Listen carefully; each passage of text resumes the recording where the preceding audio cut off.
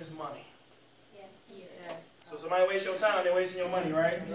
Money is time. We all would agree on that, right? But if you said, well, most of you, the majority of you said that if you woke up with $86,400 in your bank account every single day, you would make sure that you spent all of that money before it disappeared, right? And then most of you said that time is money, right? Guess what? Every single day you wake up, you have 86,400 seconds in that day.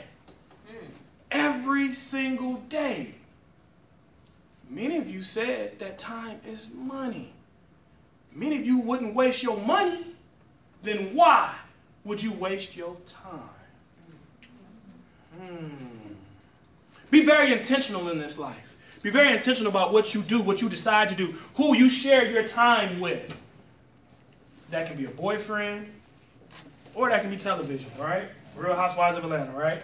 Men love and hip hop, right? All of a sudden, you know you've wasted two hours of your day and you didn't do anything productive. Be very intentional. If you want your dreams and goals and aspirations to happen in this life, guess what you have to do?